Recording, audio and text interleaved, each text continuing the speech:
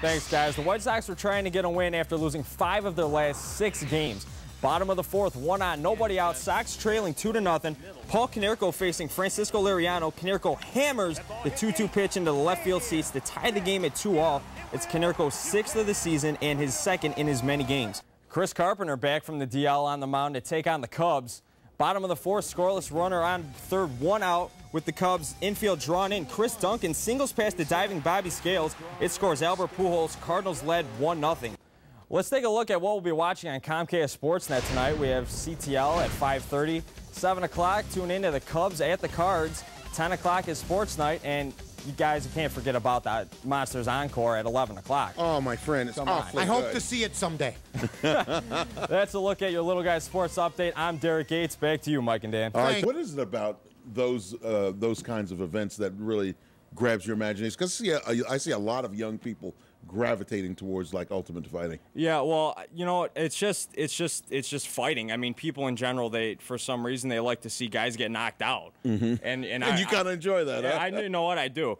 Now let's now let's say who do you think would win in a boxing match? Would you say Muhammad Ali in his prime Mm-hmm. or Mike Tyson in his prime? Who would you have to take? That's a great question. I think that you would have to go with Muhammad Ali. And why is that? Uh, well, because I think you know I think Muhammad Ali he kind of he, he definitely had the height advantage. There's no question. But Mm-hmm. Six I think foot if, two, six foot three. Yeah, and Martin Tyson was what maybe like five five. Five, 10, 10, 5, maybe 11. 11, yeah. But I think if Tyson could have got inside in him and busted him up in the body a little and bit, he was vicious. But you know, with the, well, how do you how do you feel about your uh, your first uh, This, you know, this your, is your awesome. run yeah, here? this is. I, I was working the camera over there, and Mike's like, "What are you doing?" I'm like, "Well, I'm, I'm working the camera," and uh, and then he's just like, "You know what? Why don't you come? Why don't you sit up there with with, uh, with Dan?" And I'm like, "What? Are you serious?" Hi, welcome back to the show. I'm Derrick Gates. I'm here on the Monster set, and I'm pleased to be joined by former Chicago Bear and current Bears analyst Dan Jiggetts. Dan, how you doing? Real good, thanks, Derrick. Good. Okay.